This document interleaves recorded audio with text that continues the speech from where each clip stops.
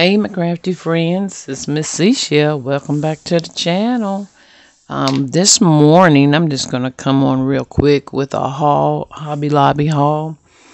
I've been doing a lot of resin projects, but I've also been shopping for different um, molds and different elements and things to try to um, change the look of certain um, uh, things that I'm working on. Just trying to alter some things and and maybe just utilize what I have to combine some things to make a finished product.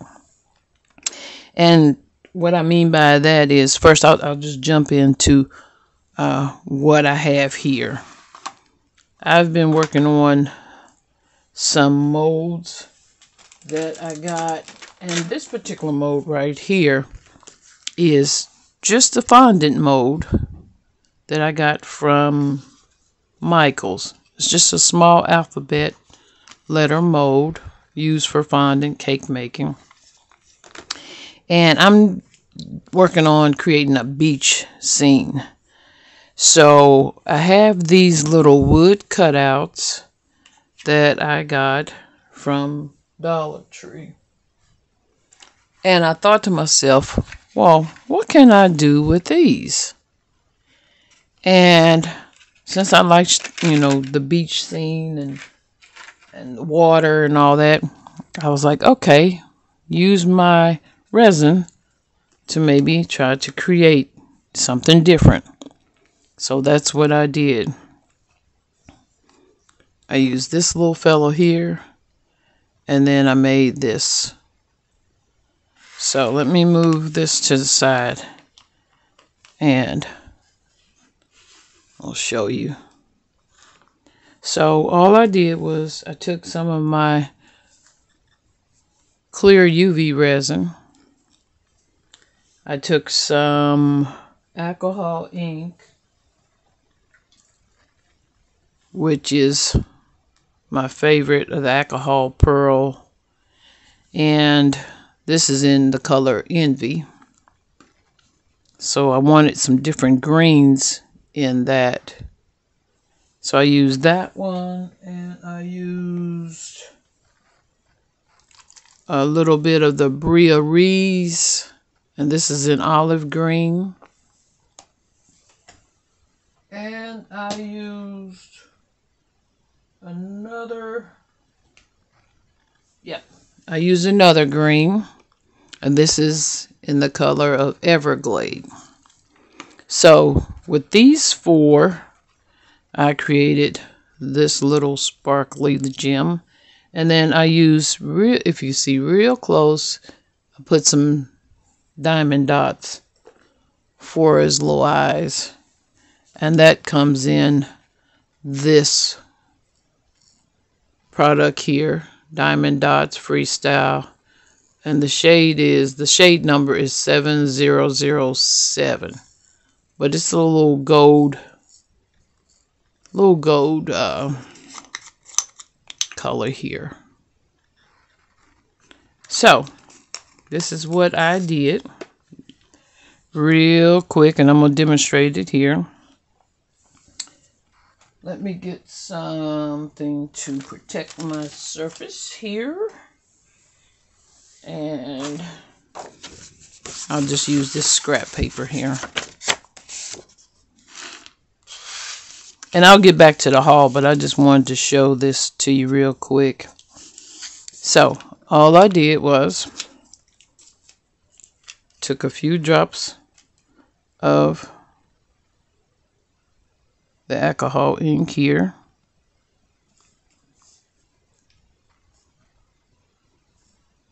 And you can put it wherever you, you know, wherever you want to add your color. And this one I just wanted it to be like green.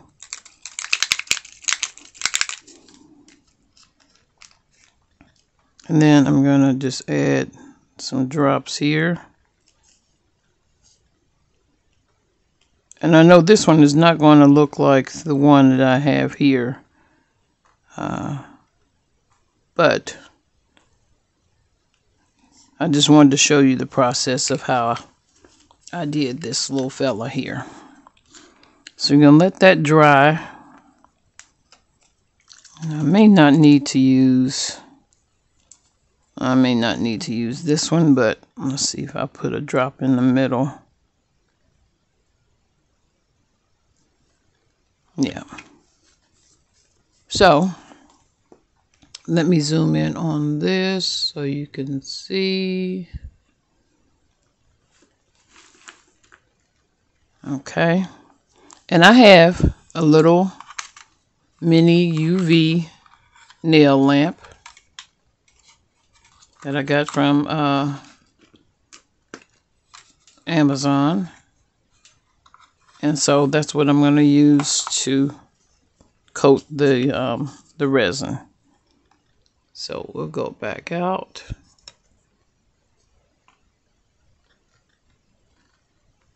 Okay. Now I'll just take my resin here and let me get a little dotting tool to hold this down. I'm just going to take a small drop and just go over the surface.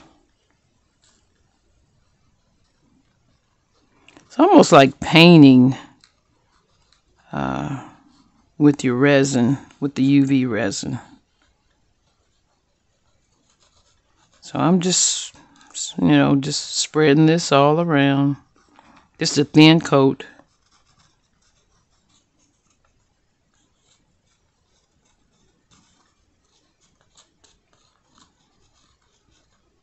Because I don't want it to be too thick because then it, it'll take a little bit longer to uh, cure and it'll be tacky.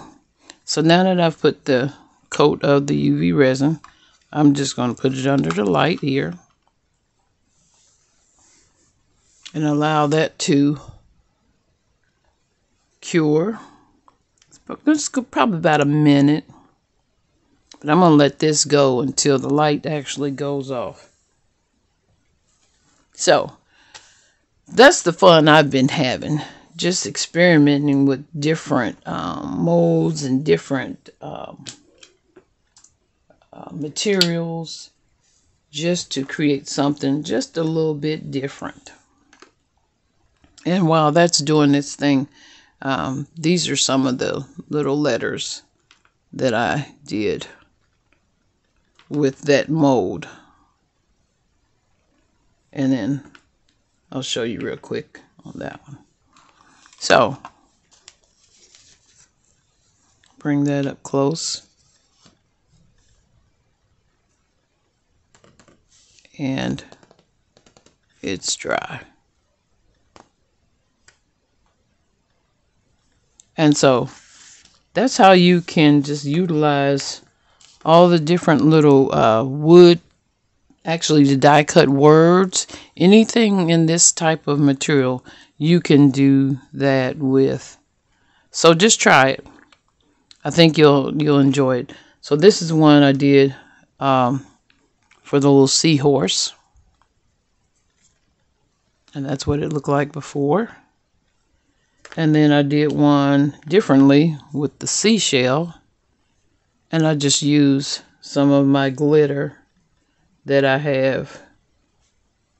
And just spread the UV resin on there and then just sprinkle it with the glitter. So that's just a little fun project that you can do. All right, so now moving on, I'm going to jump right into this haul and share with you what I got for some resin projects. So I went to Hobby Lobby probably about a week ago, I guess it was. And I went over in the baking section. And I got this pie crust mold. But I looked at it and I saw the trim on here. And I thought, I can utilize that in my resin or in my polymer clay. So I thought that was pretty good. Um, I also got the two of these.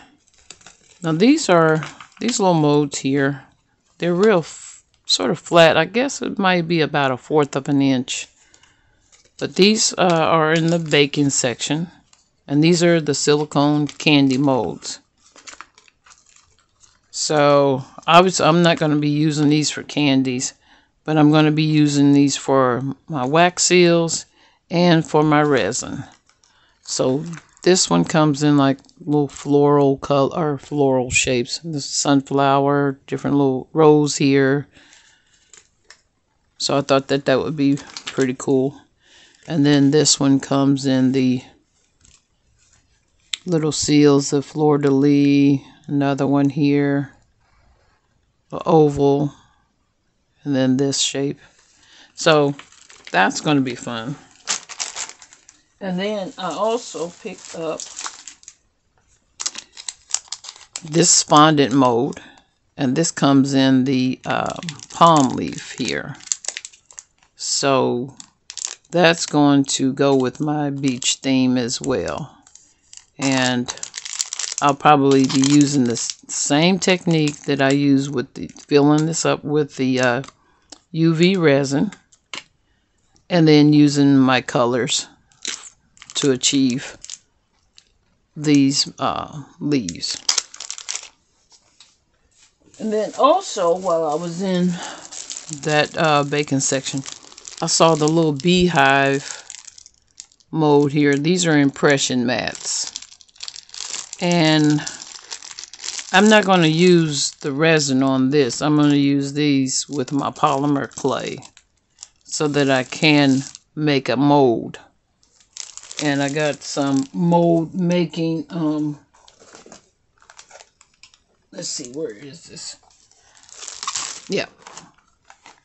It's called uh, amazing mold, amazing rubber, uh, mold rubber. And then this is what you do to pour, and then you can make your mold, and then you can use it to um, subsequently make other molds from that.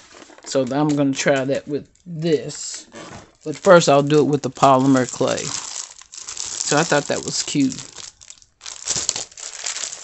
And then not mold related, but some other things. Got some little uh, treat bag tags because I want to put some stamps on here saying thank you and or for you or to and from. And then they had the stickers on sale. And I got these for, they originally, what, $4.99? I got for $1.24. So I thought this was cute. Little summer theme. I'm going to make some cards with this one. And then there was a Thanksgiving one. So I'm going to make a card with that. And then there was this beautiful flower. And so I'll use that as a um, card based as well. Or a topper, I should say. And then I'm not sure. I don't think these these may have been 50% off. I believe they were. Yep. These were 50% off. And these are die cut stickers. And of course I love fall, so and sunflowers. So that's the pattern that you get in this one. Eight designs of three each. So I got that one. And then I got this one. And that's fall related, the pumpkin. So that is my uh, haul from Hobby Lobby and my quick little um, demonstration of how I use the molds. Oh, I forgot to show you this one. I did this in the same manner too. Um, like here you'll see the G. So all I did was I used my resin, poured it in the mold, dropped some color in there, dropped some glitter and came out with these. So try your molds. Have have some fun. And if you have any questions, just let me know. Keep them. I'm gonna put them in the comment box below. And I'll see you in another video. Take care, everyone. Bye bye.